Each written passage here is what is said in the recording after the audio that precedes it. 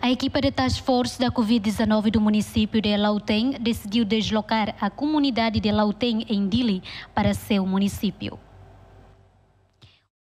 A equipa de Task Force da Covid-19 do município de Lauteng falou sobre os meios de transportação dos cidadãos de Dili para Lauteng, mas ainda não tem máquinas de teste swab no laboratório. O plano de deslocação baseia-se no aumento da pandemia da Covid-19 em Dili. Qualquer cidadão tem a obrigação de participar no teste de swab antes de entrar ao seu município. O administrador do município de Lautém, Domingos Sávio, disse que vai encontrar com os intelectuais de Lautém para falar sobre o assunto. Segundo Domingos Sávio, a equipa vai tomar a medida de prevenção porque a quarentena de Lautém não há mais espaços. Pós a transportação, os cidadãos continuam a cumprir as regras do protocolo da Organização Mundial de Saúde e Ministério da Saúde. Júlio Seixas na reportagem.